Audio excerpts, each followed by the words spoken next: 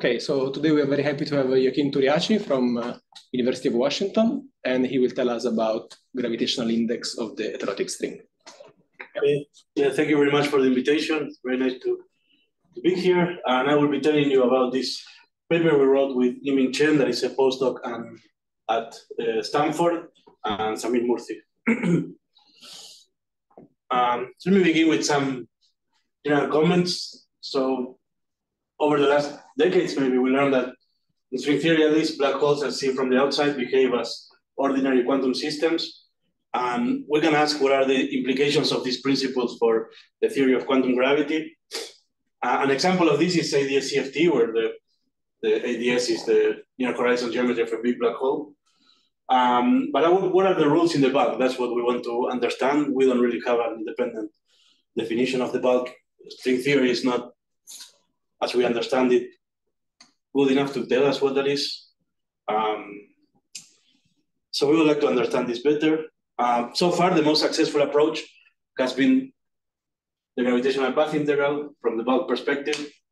Started by Gibbons and Hawking, but it took different forms in the last years. And this is an approach that can be used to compute microscopic properties of the black hole microstates using the black hole geometry. And well, it has been used for a lot of things, like recently to evaluate the page curve of the entropy of Hawking radiation, to get the uh, things like the entanglement entropy of subregion in the CFT, and every time it has been applied, it has provided um, answers consistent with this principle, black holes being ordinary quantum systems. So the purpose of this talk is to find some setup where we can address, or at least start to address the question of how does this gravitational path integral that is clearly defined in terms of the low energy data of the theory, how does it emerge from conventional string theory? Um, so I will try to tell you about the system that has what I believe to be the right features to, to explore this question. Okay, so let me tell you a summary about heterotic string states. Um, um, so consider the fundamental heterotic string compactified on T5 cross S1 um, down to four dimensions that has momentum n and winding w around the circle. So this is ds1. And then there's a five-dimensional torus you can forget about. And from the point of view of the four-dimensional space, this is a point excit point excitation with some charges. Uh, the mass of the heterotic string um, depends on the momentum unwinding, or in other words, it depends on the right and left moving momentum that I denote by Q left and Q right. And it also depends on the excitation number, NR and L, L left of the right or left moving oscillations. And this is a picture that is clear at, at weak coupling, of course. Um, out of all these states, there are special ones studied, I think, first by Dabholkar and Harvey, where these strings are BPS and preserve some supersymmetry. And this happens when the right moving sector has the, the excitations turned off. And there, in my convention, the right moving sector is the one that carries the supersymmetry, of course. Um, so these states are supersymmetric for any left moving excitation. They have a mass fixed in terms of the right moving momentum, and the left moving excitation has to be matched by um, level matching condition to the um, to the product of momentum and winding by this relation, this relation here. And this, of course, guarantees that the mass, that you get the same expression for the mass, whatever, um, whether you see it from the right moving point of view of the movie. Okay, so how many of these BPS strings are there? So at weak coupling, we can count them easily. It's just the number of left moving excitations. So if you introduce a chemical potential tau that couples to, to the product of N and W, then the answer is simply this one over the Dedekind function to the power 24. This is just the 24 excitations you can have on the left movers. Um, the number of these states at fixed charges is just the Fourier transform, this D of n that I defined there. And as you all know, you can, well, you can do a simple saddle point estimation of how this density, how this degeneracy grows with the charges. And the number of these BPS states grows exponentially with 4 pi times the square root of n times w my conventions were. we're taking n times w to be very large. So we have this four-dimensional, let's say, charged particles with a very large degeneracy when they are BPS. Um, this quantity is also equal to the index, where we weigh bosonic and fermionic states with a different sign. And the advantage of considering the index is that this can be extrapolated to strong coupling, strong string coupling, um, something we cannot do with the degeneracy. Okay, so I introduced these states at weak coupling. Now we want to turn on the coupling and ask what is the gravitational description of these fundamental string states. Um, so for excited states, the string, as we turn on the coupling, is believed to collapse and form a black hole. That's indicated by that diagram. Um, but the question is, can we reproduce the degeneracy of BPS states from the black hole picture? I mean, ideally, we would like to do it also for the non-BPS one, but for the, the, the reason why we will focus on the BPS states is because we can extrapolate their index to strong couplings, as I said, we cannot do otherwise. Um, but if you try to do this, you run into a problem that is that the BPS limit of the geometries that are sourced by these string charts are, are singular. They have a horizon with essentially zero area, so they have a curvature singularity there, and then, well, uh, the two derivative approximation behind these black hole solutions breaks down. I will review that briefly later. So, uh, so far there are what I consider to be two contradicting pictures that resolve the singularity, and resolving this tension would be the point of the rest of the talk. On one hand, we have well the more recent proposal by Chen, Maldacena, and Witten from 2021 that says that, well, let's say you start with excited string states that collapse to a black hole, and then you lower the mass until you reach the BPS mass. And their argument is that as you lower the mass, when the black hole becomes of string size, there is a transition of the same of the, of the same type as the Horowitz-Polchinski one that I will review later. And the geometric picture of the of the system is not that of a black hole at extremality, is, is a string gas. That's what they propose. And uh, on the other hand, there has been a different proposal by um, by Sen, even in the 90s, this one is older, and, and then made more precise by Dabholkar, and other people, where the where the black hole becomes string size before it reaches the extreme, extremality where it's singular, and then higher derivative corrections stabilize the size of the horizon to some small string size black hole.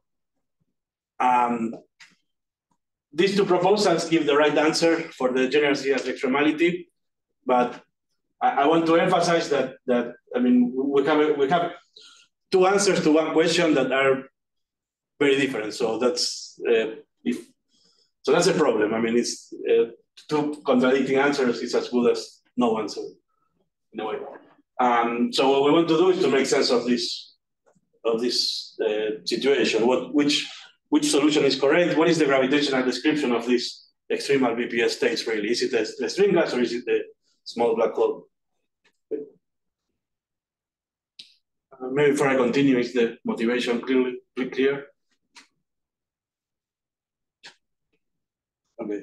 So when you say string gas, is this like just a highly excited string or, or like kind of, I mean, many strings? I mean, it's, it's you mean this is this? Is the highly excited one. But first, well, yeah. yeah. It's the highly excited one. And I also mean, well, I will say that later, but also it doesn't go uh, straight to the string gas. There is an intermediate region with a self-gravitating string. Mm. Um, that's what they, they propose. Sorry, when you said that in the BPS limit, the black hole had zero area. Yeah.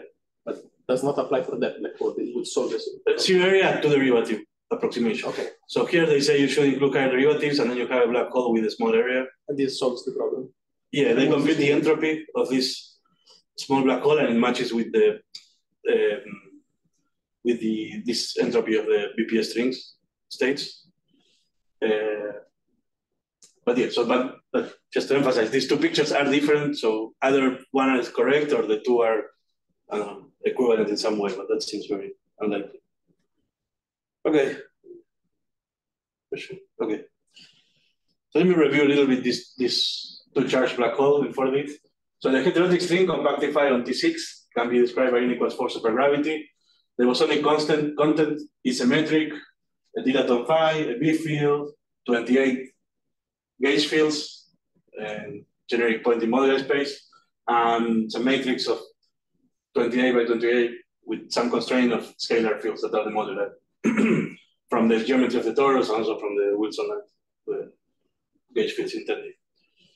Uh, the 28 electric charges are related to the left and right moving momentum of the string in the way that I described here. So if you enumerate them in some way that I guess I'm not giving the details, but but 22 of them correspond to this vector of the moving momentum in the in in one circle inside the T6 and the right moving one. So we need to find black hole solutions with all these charges in 4D.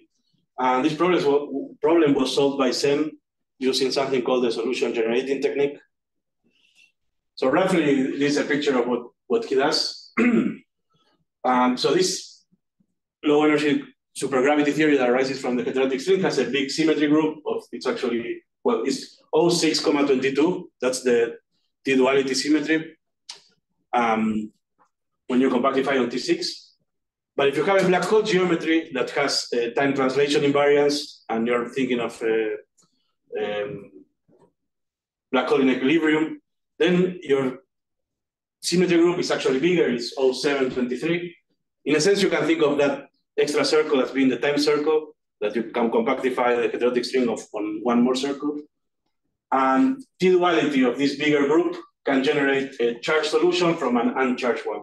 So you can start with the Schwarzschild black hole in, in 4D, apply this to duality transformation, and end up with an electrically charged black holes with, with some mass and left and right moving momentum.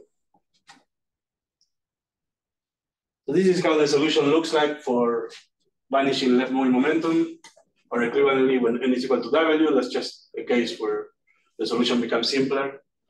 Um, so you can see this is very similar to, I don't know, it's like a more complicated version of the Reissner-Nordstrom black hole. You have some radial dependence uh, GTT and GRR, and some radially dependent dilaton. Um, omega are the angular directions. Um, the event horizon is located at, at the radius where the denominator in the radial component vanishes and is given by, by this expression. Um, as a check, you can see that if the mass is very big, then this reduces to the Schwarzschild solution. So here you have 2m.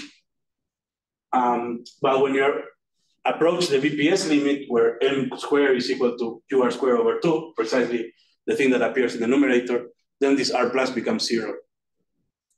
Um, and this is the first sign of a, of a problem at extremality. Another problem is that the dilaton approaches a minimal value of the horizon, well, sorry, that's not the problem, that's just a feature. In general, the dilaton approaches the minimal value of the horizon, where R, R is the, uh, takes the smallest value. I'm thinking here about the, the, Euclidean section to compute the, the free energy, let's say. Um, or later the index. Um, and this is the value it takes at the horizon. But again, we see at that extremality, um, this quantity vanishes, so the dilaton blows up not only the area becomes zero, but the dilaton is also blowing up at the horizon as we approach extremality. And finally, something even more weird that um, is also a signature that the solution is singular is that the Hawking temperature is equal to 1 over 8 pi m. This is the same as the Schwarzschild expression, but it's still true regardless of the charge. And when you approach, approach extremality, this m is some function of the charges that I wrote here, but it's different from zero. And it should be clear that, that if you have an extremal solution with a non-zero temperature, there is something singular going on. Okay.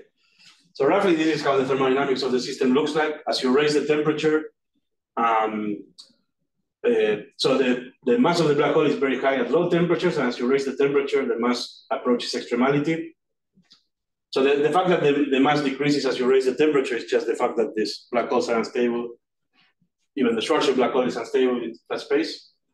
Um, the entropy is also going down as you raise the temperature until you reach, in both cases, this T max is the extreme temperature I wrote down before.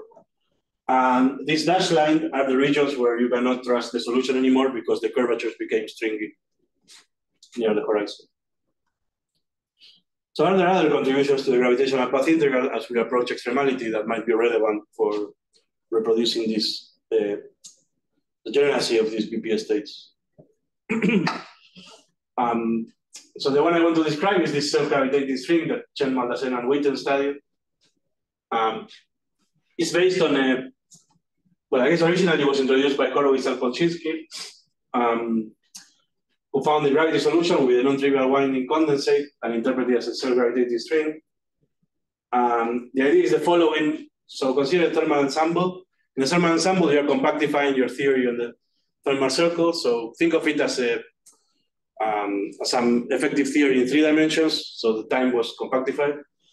Then when you're close to the Hagedorn temperature, which means some particular choice of length of the thermal circle, then there is a mode that has winding one around that circle that becomes very light. And that was understood in the 80s, a long time ago.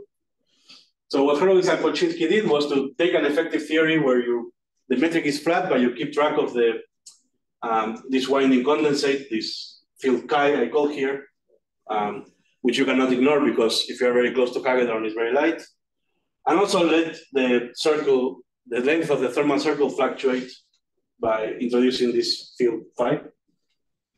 Um, so truncate the theory to just these two degrees of freedom, the winding condensates and the and the size of the of the circle, and then is there a solution where this winding field is non-vanishing in some region of space and goes to zero at infinity, and then that region will be interpreted as the place where the self-gravitating string is. Um, just to show you a picture, so this is roughly how the solution looks like. Far away, you just have flat space times a circle because you're in the thermal ensemble. So phi is zero, meaning that the, the length is approximately beta. And then as you go close to the string, you have a, a, a region of some size where the winding mode takes a non-zero value classically, and then the size of the thermal circle is also changing and it becomes slightly smaller, but always finite inside this winding condensate. and the radial, the position dependent value of this phi can be interpreted as a Newtonian potential of this gravitating string. Okay, so this solution is reliable close to the Hagedorn temperature where the winding mode is light. It has a classical entropy, which is an interesting feature, and that happens because the mass of the winding mode depends on the temperature. Um, it has a non-local, well, any local action will not have any entropy, but here the action is non-local because of the fact that this winding mode is wrapped around the thermal circle. Um, and well, if, if we are too close to the uh, temperature, then quantum effects can become important, and then there is a transition to the free string instead of this winding condensate. Um, okay, so this is a picture of roughly the thermodynamics of, of the system. This is so far I'm reviewing what Horowitz and Polchinski did without charge. And this R is the, the radius of the thermal circle minus the value of Hagedorn. So the blue line is the black hole, is the, the mass of the black hole, how it goes down as, as you approach uh, the Hagedorn temperature. And then there's a transition to the uh, red line that is the curve of mass as a function of temperature of the, of the self-gravitating string. Okay, so in this paper of Maldacena and Witten, they uh, use the solution generating technique to map the self-gravitating string without charge to a charged version of the self-gravitating string. Um, moreover, at low energies, one can argue that the on-shell action of the heterotic theory is given by a boundary term only. And near the boundary, the solution is trivial in the sense that it's, it's flat and all the field takes their asymptotic value. Um, so something interesting that they do is that they they argue that one can find the thermodynamics to all orders in alpha prime using this solution generating technique. Um, and there was a nice check recently of, of their formulas, but okay, I, I, won't go into too much detail because that's uh, I want to go in a different direction. Um, but anyway, the upshot is that the entropy of this charge Horowitz-Polchinski solution, when we are close to, to the BPS bound, is m being close to QR over square root 2 um, it has this form, and this is precisely if you map it. Uh, okay, I didn't write it here, but if you map the QR and Q left to one in a momentum, then then this expression is exactly the same as the one you derive at a weak coupling that I presented in the beginning.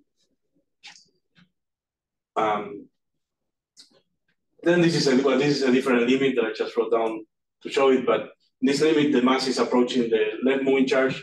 So this is a, a different extremal limit that is not supersymmetric, and, and that's fine that it doesn't. In that case, the, the, the entropy doesn't match the the one of the BPS states, but that's fine. It didn't have to. Um, okay. Well, and then these are some properties of the solutions, but maybe I will skip it.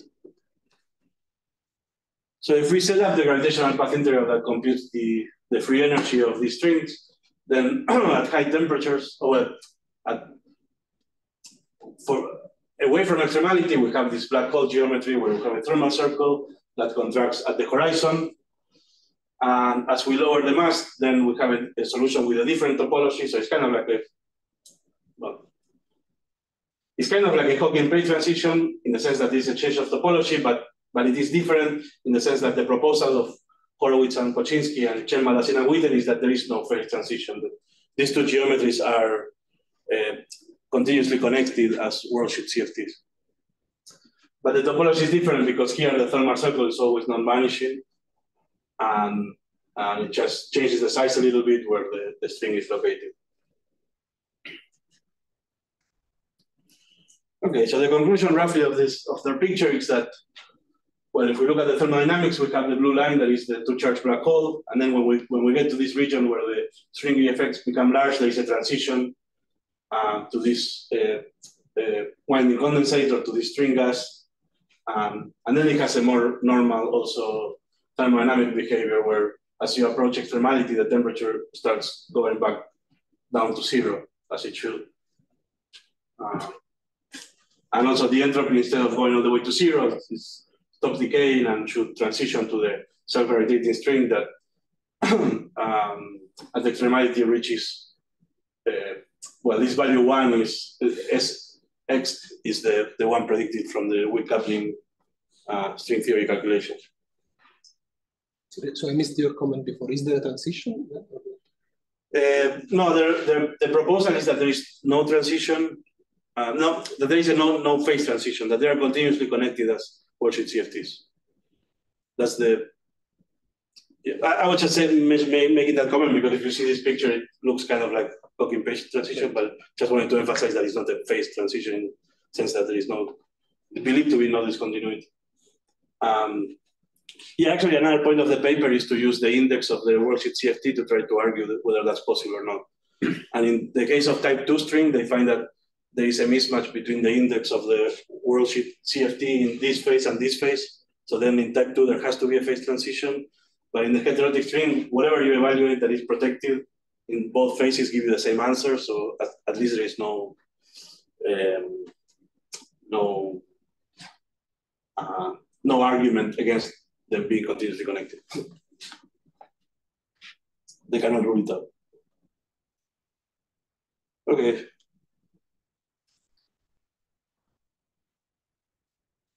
Okay, if there is no more questions, then let me continue. So I will explain how to compute the gravitational index of the heterotic string. By gravitational index, I mean using the gravitational path integral to compute the index, in analogy with how some people refer to gravitational entropy. And this is based on, well, the, the, the paper we wrote, and there was also uh, another paper that, for the previous week by Ashok Sen and collaborators. So to evaluate the index, we need to implement the insertion of minus one to the f in the gravitational path integral. So how can we make fermions periodic um, in the black hole solution around the thermal circle. So naively, if you just declare that you take the same black hole but with periodic fermions, you'll see that that gives you a singular spin structure because, well, the thermal circle will contract at the horizon and you cannot put fermions in that geometry with those boundary conditions. So the solution um, was originally introduced in ADS and, and then in flat space. Um, the solution is to add rotation. So if you add, uh, let's say, an angular velocity far away, in, um, I mean, at the boundary of your spacetime, what that tells you is that as you go around the thermal, thermal, thermal circle, you also need to rotate an angle uh, specified by the angular velocity. That's one way of, of saying that you have an angular velocity. You go around the thermal circle and you, and you rotate. so that's that's the representing the blue line here. And this circle is the one that contracts in the black hole in the rotating black hole geometry. And fermions should always be antiperiodic uh, uh, along this blue line because that's where where that's the only consistent choice of, of boundary conditions. Fermions are also antiperiodic in this horizontal line. This is just a rotation of this angle phi, and this phi is an angle in the sphere. And because the, well, this, this circle from zero to two pi is contractible even at the sphere that is at the boundary. So you are forced to make that antiperiodic. Um, the idea of these papers is that if you pick the angular velocity to satisfy this constraint, such that the, the shift that you produce as you go along the thermal circle is exactly 2 pi, then, which I wrote here, uh, then the fermions will also be periodic around the thermal circle, which is the red line here. In sense, they're antiperiodic here, they're antiperiodic here, so they're periodic in this, in this circle. Um, but then that's fine. This is not inconsistent with anything because uh, the fermions are periodic around the circle that is not contracting anywhere. So There is no, no problem. So if you want to evaluate the, the, the gravitational path that computes the index of a black hole, you should find a rotating black hole with some angular momentum consistent with this choice of angular velocity. Um, another way to think about it that I didn't write down is that minus 1 to the f is like e to the 2 pi i j. Because if you have half integer spin, you have that gives you a minus 1. If spin is integer, give you a plus 1. So you can think of an insertion of e to the 2 pi i j as, as a choice of angular velocity. So let me remind you how this works for Reissner-Nordstrom. So the solutions are labeled by by a mass, a charge, and the rotational parameter A, that is the spin over the mass. Um, take this rotational parameter to be imaginary because we're going to choose the, the angular velocity to be imaginary. And if you put it into the, the, the, the, the solution of Kerr-Newman solution, you'll get that the location at the horizon R plus is equal to Q plus A. Uh, beta is a function of, of Q and A and the mass will be equal to Q regardless of beta. So for a choice of temperature, I can pick the value of this rotational parameter to solve this equation and make the geometry smooth. So what I fix at the boundary is the temperature and the charge um, and the angular velocity, and then the, the, the angular momentum given through A will be fixed by smoothness. And for all these solutions, no matter what the value of A is, M is always equal to Q, which is what you need for, uh, for supersymmetry. Um, the solution has an on-shell action that is independent of temperature and is given by, by roughly Q squared. Uh, this happens to be the extremal area of the black hole without the minus one to the F. But here, let me emphasize that this is a non-extremal finite temperature black hole the area depends on the temperature. As you see, is Q plus A. A will be some function of temperature. So the, there is some nice cancellation between all the possible temperature dependence to, to give back this extremal area answer um, that you will have at zero temperature. Um, all BPS solutions can be written in, in the Israel Wilson form that I wrote here. Uh, so here we write the geometry as the thermal circle, fiber over a three-dimensional space uh, labeled by this vector x with three components. We have some emblackening factor u, and we have some vector omega that both are given in terms of two functions h and h tilde that are harmonic. And to reproduce the Kerr-Newman black hole with this choice of angular velocity, you need to pick these two harmonic functions to take this form where they they have poles at xn and xs that um, are separated by a. So the the way you can think about it is that when you add rotation, you are singling out two points in the horizon, and their separation is determined in terms of the angular momentum. If you want to reproduce the extremal black hole solution, then you take this xn and xs to be on top of each other. And if you do, you reproduce, well, this uh, a solution called the Majumdar Papapetrou is, is the usual multi-center black hole you, might be familiar with.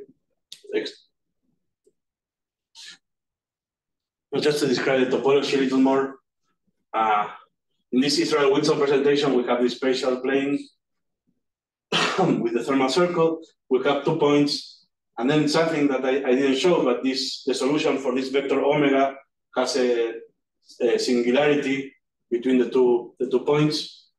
Um, you can map it to more standard coordinates. This was understood a long time ago by Hartle and Hawking and other people that you can map it to the usual, um, let's say, coordinates where, where it's more manifest the fact that the topology is the thermal circle contracting at the horizon and, and the spatial circle becoming, uh, well, giving you a, big area at the horizon. So the two point is north and south pole, and we call them that like that because they're mapped to the north and south pole at the horizon. And this singular line is just a coordinate singularity and it's mapped to the whole sphere at the horizon. Okay? So these are just very unconventional coordinates from the point of view of the geometry, but uh, they will be very useful for, for finding supersymmetric solutions.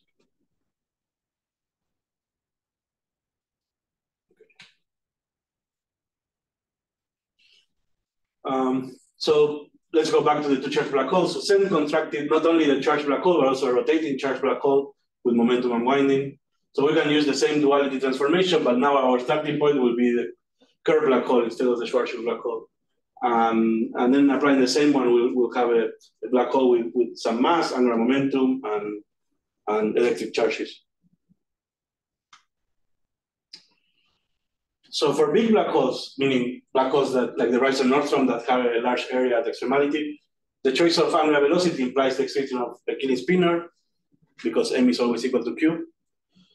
Uh, but that's not the case in the two charged black hole, as we will see.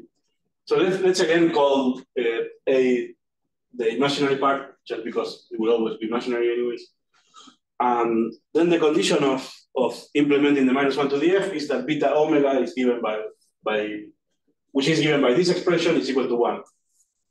And this little m is, is this combination. So it's something that is positive and becomes zero uh, when supersymmetry is preserved. And the only BPS solution of this uh, of, of this equation is to take a fixed and send m to zero. Um, as a side comment, there are other solutions I'm not describing. So one can ask what is the, the gravitational path integral that computes the trace of minus one to the f. Even in theories that might not be supersymmetric.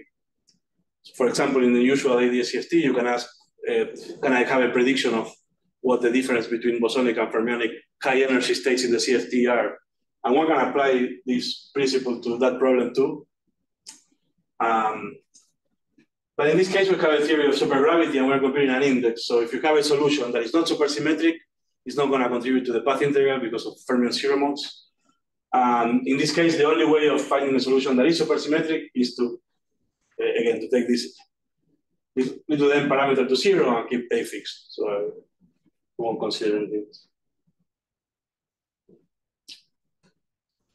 Okay, um, in this limit, the temperature has the same weird feature that it had before. The temperature gets fixed in terms of the charge. This is not what happened for the large black hole. For the large black hole, we had, well, let me remind you.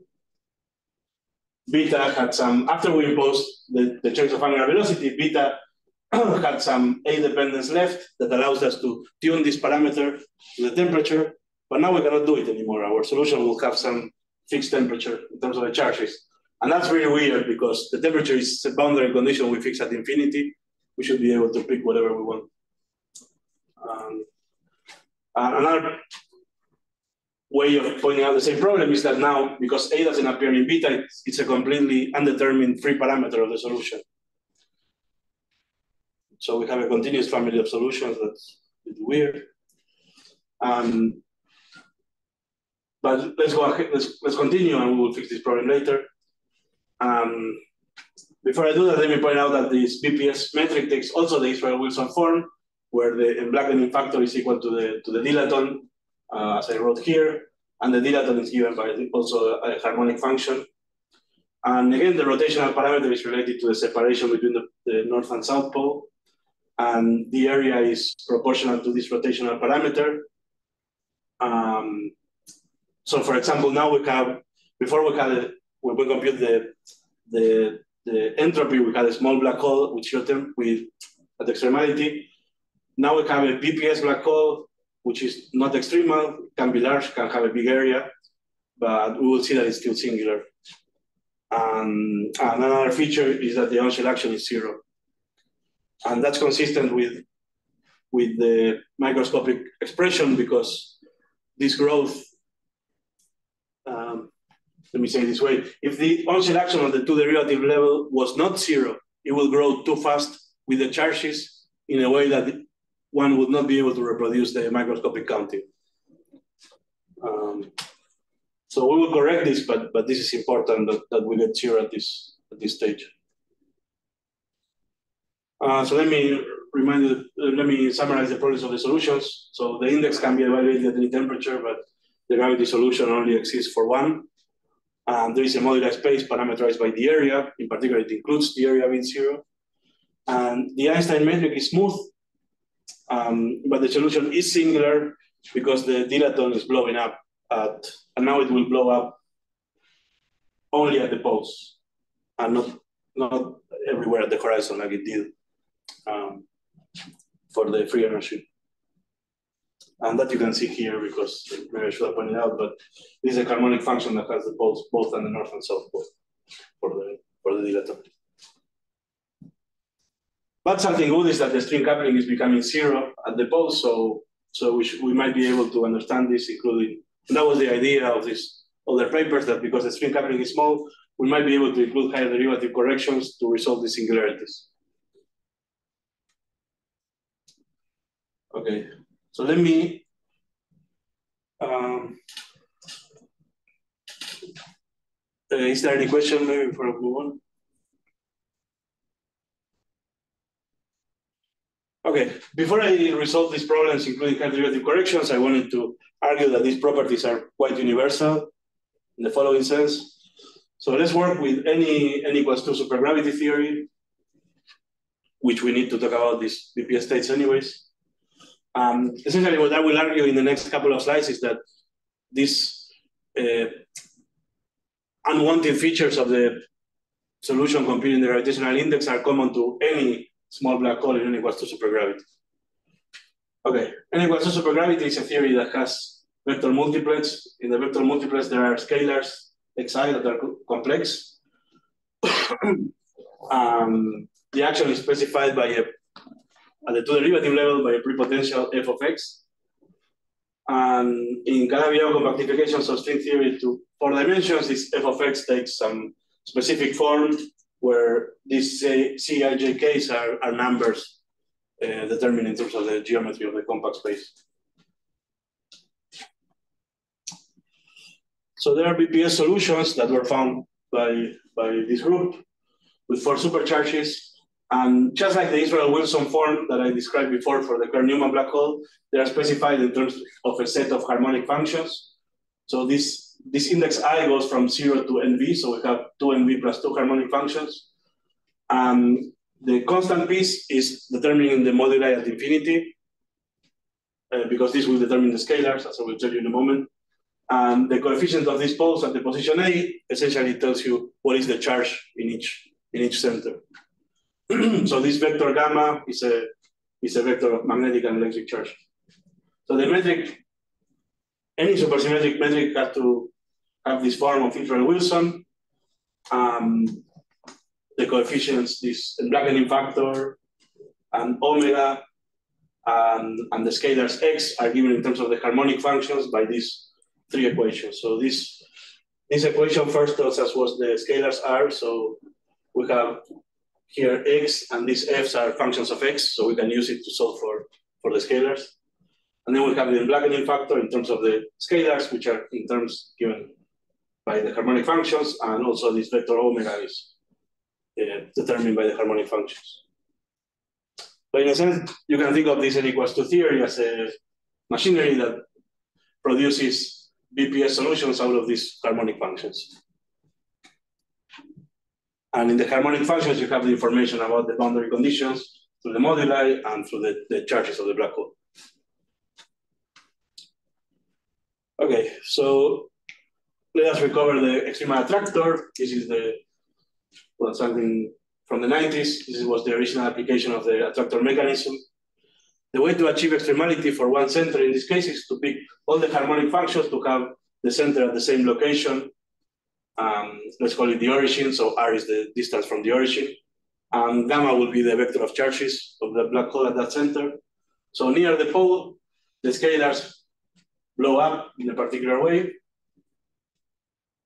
Um, this emblackening factor has a, a, double pole, which is characteristic of a, a, horizon with zero temperature. And these coefficients that appear here are fixed in terms of the charges by the attractor equations. So these coefficients are given by, by, these, uh, by these equations where P are the magnetic charges and Q are the electric charges. And again, these FIs are functions of the scalar, so this uniquely determines what the scalars are. And to simplify the, the expressions, I well, I didn't say it, but these scalars are defined projectively. So these equations are for a specific normalization that makes the equation looks as simple as, as I could. But now, to compute the index, we should do it at finite temperature, and we should add rotation. So that's something we did in, in a paper with with Boruch, Iliesiu, and Murthy from last year. Um, one thing that it requires is a simple pole in this emblackening factor. So before, for the extremal black hole, we have this emblackening factor going as 1 over r squared, that is characteristic of a zero temperature horizon. Now we need a simple pole uh, that allows for non-zero temperature. Um, to do that, what we need to do is to take the, the same harmonic function we had before, and that single center needs to be split in two. That again will be the north and south pole. And these two charges, gamma n and gamma s, their sum has to be equal to the total charge, big gamma, um, of the original black hole. Uh, but in principle, how the total charge is distributed between these two centers is something that we find a posteriori by, by, by imposing smoothness of the geometry. Um, smoothness, of the geometry also imposes another condition, which is that, well, which is this. Um, so this Okay, I didn't say it before, but this comes from demanding that that the profile of this vector omega is smooth. I can give you more details offline, but so this relates the um, this intersection product between the, the charge vector and the north and south pole, the distance between the north and south pole, the modular at infinity, which is this little h, and the temperature.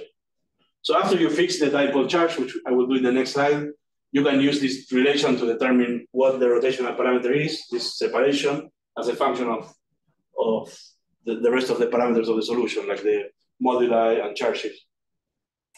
And finally, this solution has an area proportional to, to the rotational parameter, just like, like before for the Reissner-Nordstrom case.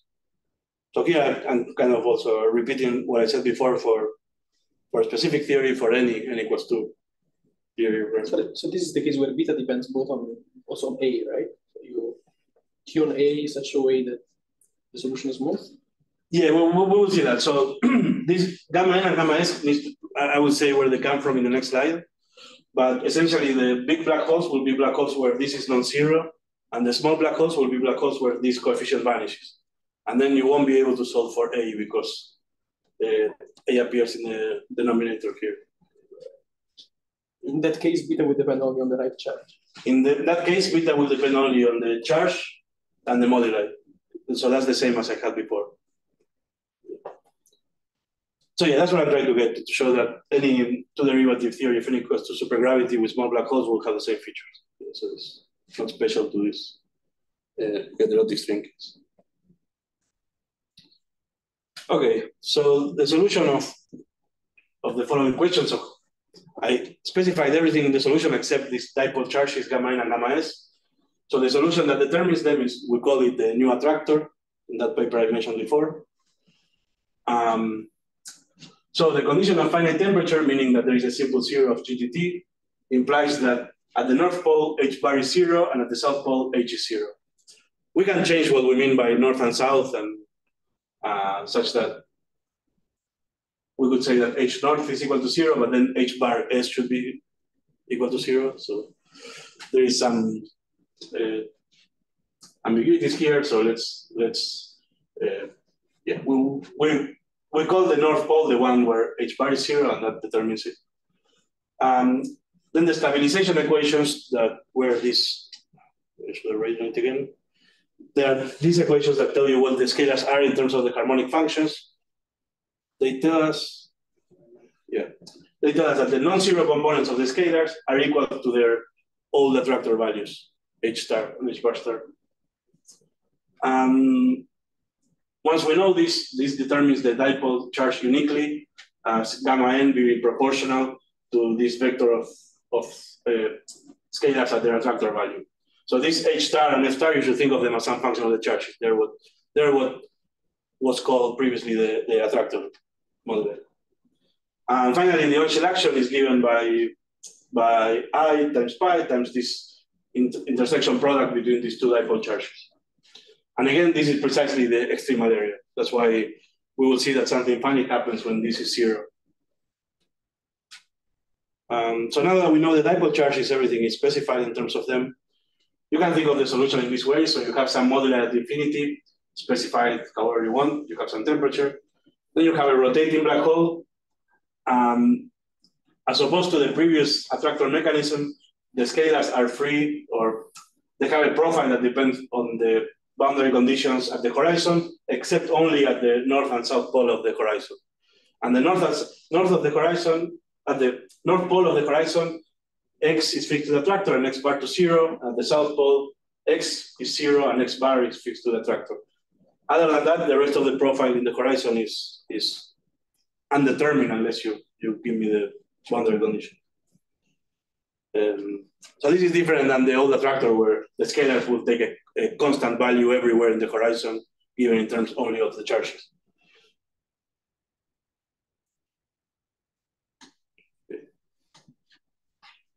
Um, yeah, so all properties that we found for the two charge heterotic non-extremal BPS solution are general. So solutions with vanishing extremal area require that this intersection product is zero. And whenever this happens, the action is automatically zero. And now regularity doesn't determine this uh, the separation between the poles.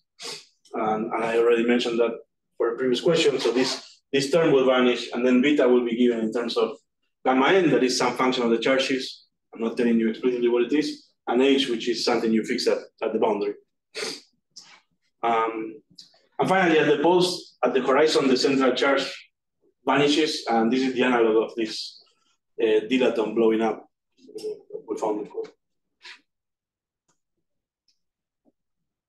Okay, so in the last 10 minutes, I will describe what happens when we add higher derivative corrections.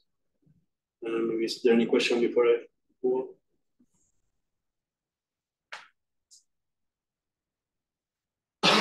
okay. Yeah. So let me recap. We set up the problem to compute the gravitational path integral for the index of this two-charge system in the heterotic theory. We find that at the two derivative level, the solution is singular at the poles of the horizon. So we need to add higher derivative terms there and, and see what happens. Um, in the, we will use the formalism of n equals to supergravity because it's, it's very useful. And in this formalism, the action have, has two terms when you incorporate higher derivative corrections. They're what they're called, you have what they're called F terms. So these are kind of superspace integrals. And there are D terms. These are full superspace integrals. The D terms are very complicated, but the F terms are easy. Um, the F terms are given in terms of a prepotential again, just like before, this function of the scalars, f of x, with the difference that now it can depend also on, on another scalar, a hat that is roughly like r squared. Or it's a superfield that has r squared in its multiple. Um, and in principle, the prepotential can be an arbitrary function of a hat. Um, it has, can have arbitrary powers. Um, the higher the power of a hat, the higher in derivatives it will, it will be. But something nice for the heterotic string is that in n equals 4 supergravity, there is a non-normalization theorem that tells you that, that this truncates to linear order in a hat. And you don't have to consider anything beyond that level. Uh, this doesn't happen in n equals two compactifications where you can have, well, this is determined in terms of the topological string and you can have more complicated X and A hat dependence. Okay, so in, in an impressive series of papers, uh, this group found BPS, found all the BPS configurations with four supercharges in the presence of arbitrary F terms. um, so our analysis will be valid under the assumption that the D terms, which I told you in the previous slide, don't make any contribution to the action when you evaluate it on a supersymmetric configuration. Uh, if that's true, then you can find the classical solution by just extremizing only with the F terms. Okay. Uh, but okay, according to the solution that found by that group, the BPS configurations are still generated by 2 n plus 2 harmonic functions H. The scalars, together with A hat, are still determined in terms of the harmonic functions by equations that look structurally the same um, so before we had also Fi and F bar i. Now the only difference is that the prepotential depends on this new parameter. But we can use these two equations to solve for x as a function of, of these harmonic functions. Um, so in this paper with, with Yiming and Sameer, we generalized this new attractor mechanism to higher derivative corrections. And again, we want the metric to be regular and to have a simple zero in GTT so that is, we have a horizon with a, a non-vanishing temperature. And that together with the stabilization equations, again, give us the same solution that at the north and south pole, either x bar is zero or x is equal to zero, and the non-zero components are fixed in terms of their old attractor value given by this expression. So this is the old attractor, including derivative corrections that people found before, but only applied at zero temperature. And well, again, I'm, I'm working with some normalization to make the formulas look simpler. That's, that's why there is a weird 64 here. Okay, the smoothness of the metric that comes from analyzing this vector omega is the same as before It's not affected by derivative corrections. So if we show that the derivative corrections produce a non-zero value for this intersection product, then we are we are good because now A, which is the denominator, will be determined as a function of the temperature, and we will be able to pick whatever temperature we want. Um, um, yeah, and another comment is that the dipole found by by by the smoothness of the solution, so how we split the total charge in these two two centers, is again given in terms of the, the vector of, of attractor values, just like in the two derivative level, with again the, the clarification that these H stars now solve the new, the now solve these equations with the uh, including the A hat dependence. So the solution will be different than what we had for the two derivative level. And finally, the on-shell action is, is given by this expression. Um, okay, so we will use this one loop corrected prepotential, which comes from the heterotic string theory. So this is the tree level one. And I wrote this for just uh, two vector multiplets because one can choose a duality frame where we only turn on a few charges. So this is just the simplest case. Uh, and this is the three, this is this would be the tree level prepotential, uh, the two derivative one that if you would apply our methods, it would reproduce the solution that I explained in the beginning of the talk. And the only derivative correction we need to incorporate is this one proportional to a hat with uh, this ratio of, of scalars. Um, uh, well, I put C here. Well, C depends on, but there is a general formula for compactifications in more general spaces, but for this theory, this coefficient is one. Um, so now we can take this prepotential and evaluate the dipole charges and see whether the intersection product is, is zero or not. And we find that the intersection product is now non-vanishing and is given by the square root of n times w. So that's just, I'm just giving you the final answer.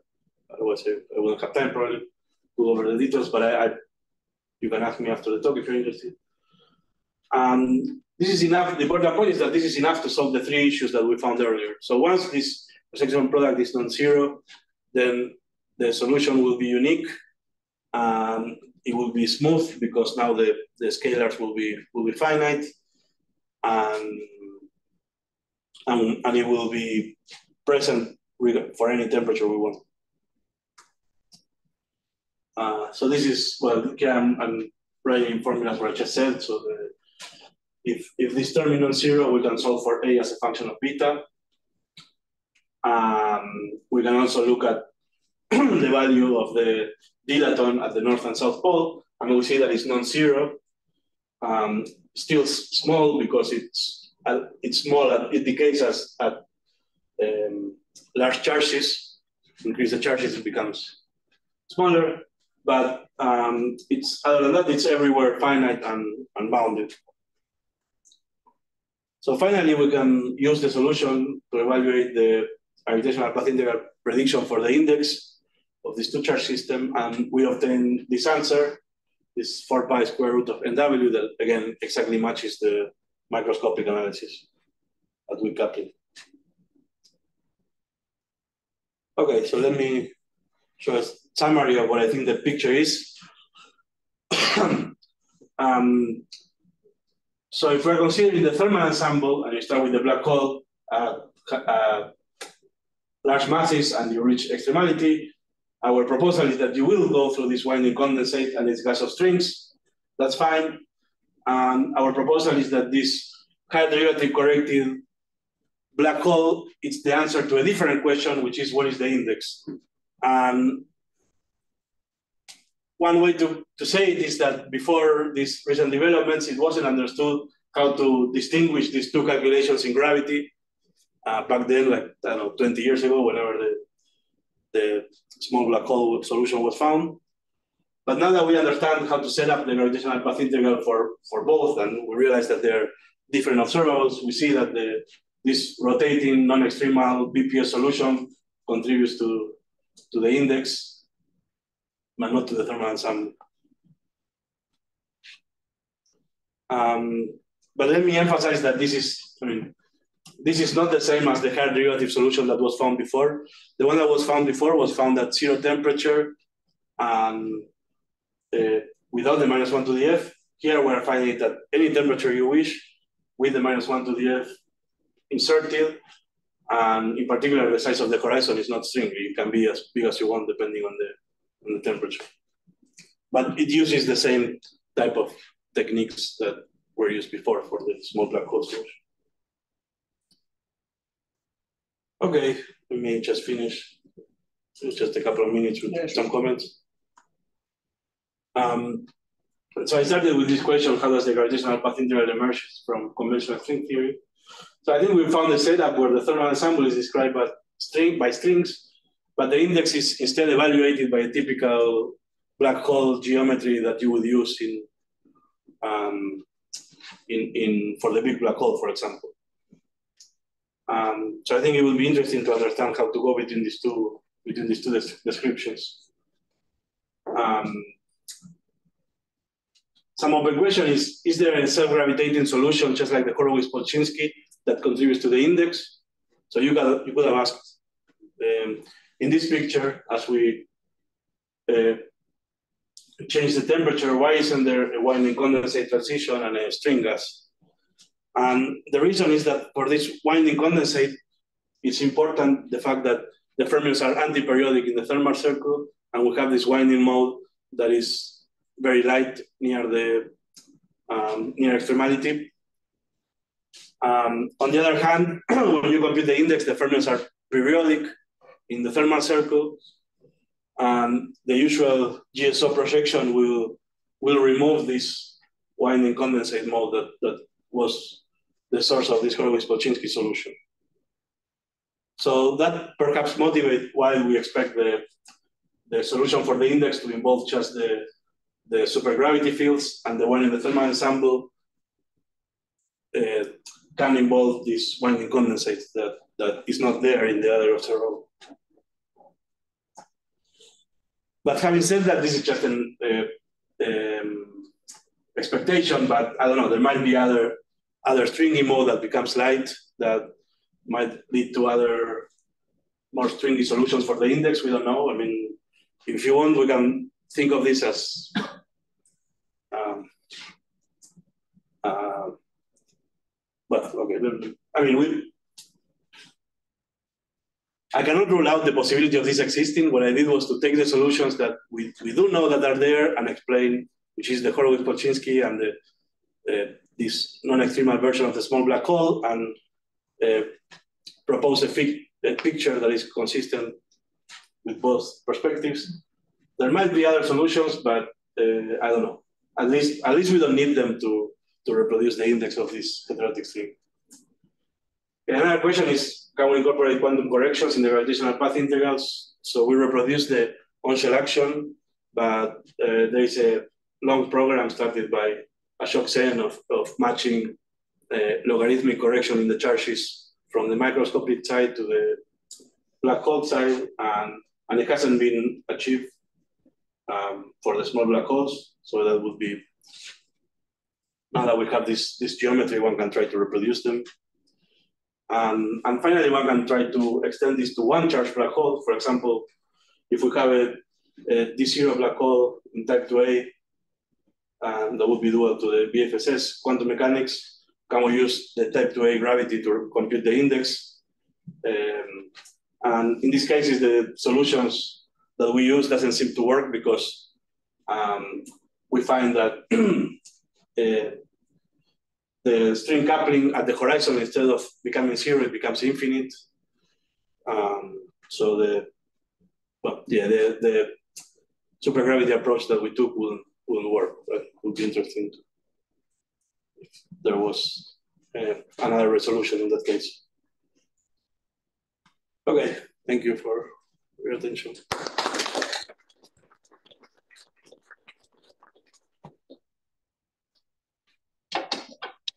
there another setup where you have such like a sharp distinction between like story at the the index computation, the one from the example? Um, no, no, actually, that's is the only one I know. For example, in the big black hole, then here you just have the, the big extremal Reissner-Nordstrom black hole, and the two are connected as you take the the temperature or not the temperature, sorry, the angular velocity from the supersymmetric value to zero, then the two are just connected by the Kerr-Newman one, so they're the same solution in a way. In this case, the problem is that, uh, so I, I, gave you an argument that, that uses on this side just a subset of all the possible higher derivative corrections you could have, and it relies on supersymmetry, on these d terms not being important. So if I come here and I, and I take omega and I change it from this value to zero, let's say, then in principle, I, I don't know if I can, uh, I don't know if the solution we found survives once you go away from omega having the supersymmetric value. uh, so in that sense, it seems something special of the small black hole that the two are disconnected. Because in the big black hole, since the solution is there within the two derivative level, uh, you can just find it whatever with or without supersymmetry, you can find it and go from one to another. Um, and regarding the quantum corrections you mentioned, uh, so, so on what side? Uh, ah, yeah, I meant, I meant here. Yeah. Okay. Yeah, maybe I can also compute them in this side. But I, I, was thinking of the type of calculation that I showed uh, did of computing the one loop determinants around the black hole geometry and then they give a, a computable contribution to uh, log area corrections. Corrections that are logarithmic in the uh, black hole area. And uh, well, it has been applied to a lot of big black holes, and, and the microscopic index matches the, the black hole calculation of these logarithmic corrections. But as far as I know, it, it hasn't been applied to the small black hole. Uh,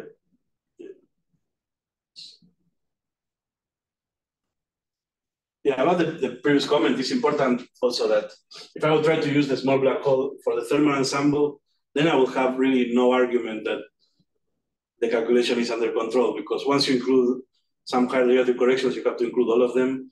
And if you don't do it in a supersymmetric way, then all the all the derivative terms can contribute, and you cannot really control them.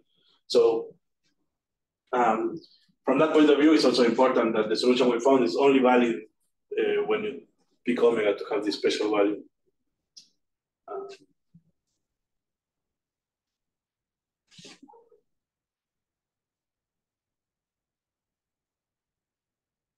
Other questions? Can you say again this assumption about the d terms being zero?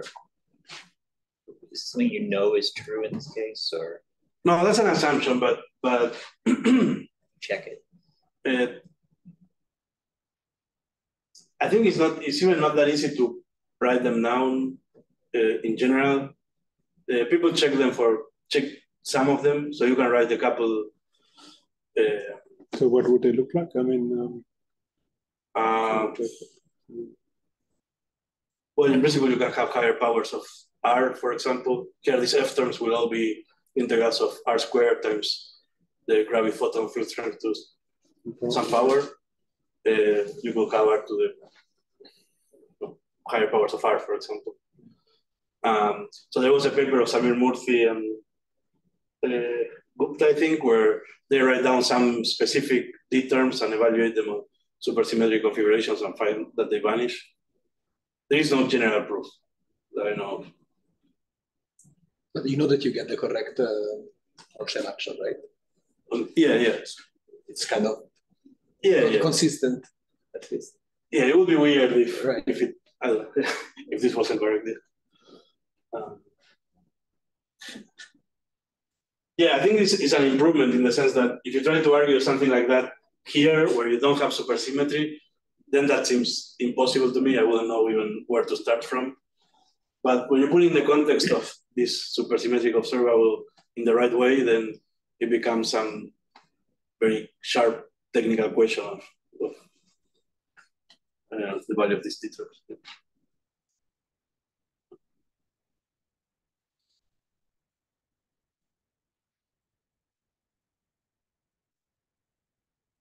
questions?